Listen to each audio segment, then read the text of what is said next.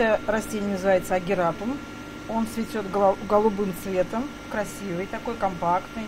Все лето он цветет. Все лето и весь чемпионат по футболу. Эти ростки малыши через месяц уже украсят казанские улицы. Как раз подрастут к футбольному празднику. Постарались миллионы цветов вырастить нынче, чтобы город было красиво и ярко.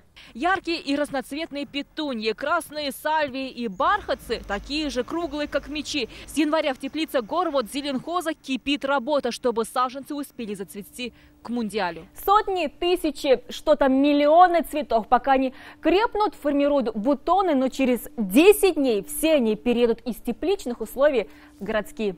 И к началу футбольного чемпионата такие вот петунии, еще десятки видов цветов появятся на цветниках площади почти в 19 тысяч квадратных метров.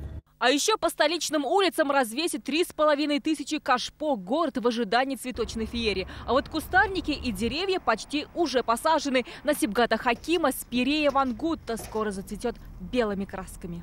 Не было кустов, туда сажаем. У нас это Сибгат Хакима на данный момент новые территории. Здесь мало было кустов, сейчас добавляем. Казань зазеленеет по основному маршруту чемпионата. Станет ярче дорога от аэропорта к городу. Казанцы же просят заглянуть во дворы.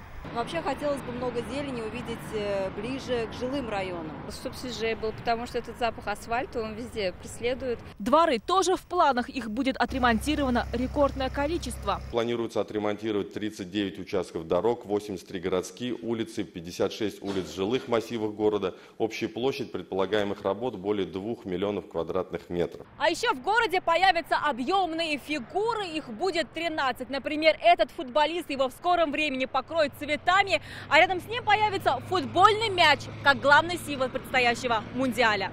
Альбина Минибаева, Ренат Сафин, ТНВ, Казань.